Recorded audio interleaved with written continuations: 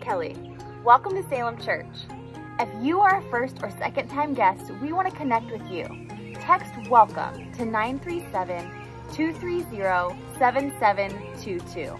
Today we are continuing with the message series New Normal. We all want to go back to normal, but before we do, we have to wonder, was normal working? For many people, normal was being stressed out and feeling like something was missing. Maybe we forgot about the things that kept us anchored. In this series, we are going to talk about our new normal. It might just work better than before. Salem Church, let us hear from you. As we move into the next phase from stay-at-home orders, the staff of Salem is working hard to prepare a time when we can all return to the campus safely.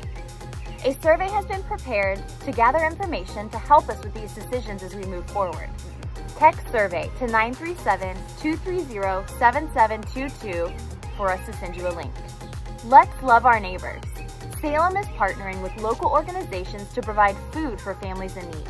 Drop off non-perishables in the bins at door number two at Salem Church or financially support a family at salem.church/give and check the disaster relief box.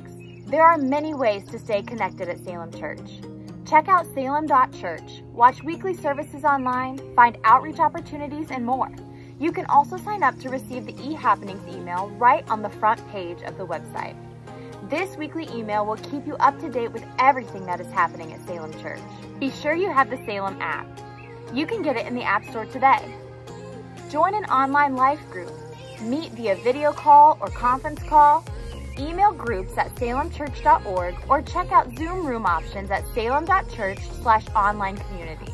Let's continue to support the mission of Salem Church, especially as needs arise in our community, by continuing to give online, through text to give, or even mailing your offering directly to the church.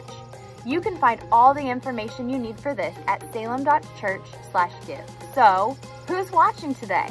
Text the word Salem to this number to let us know you're here. And now, for the next hour or so, let's turn off the noise from the world around us and take the time to focus on God and His promises.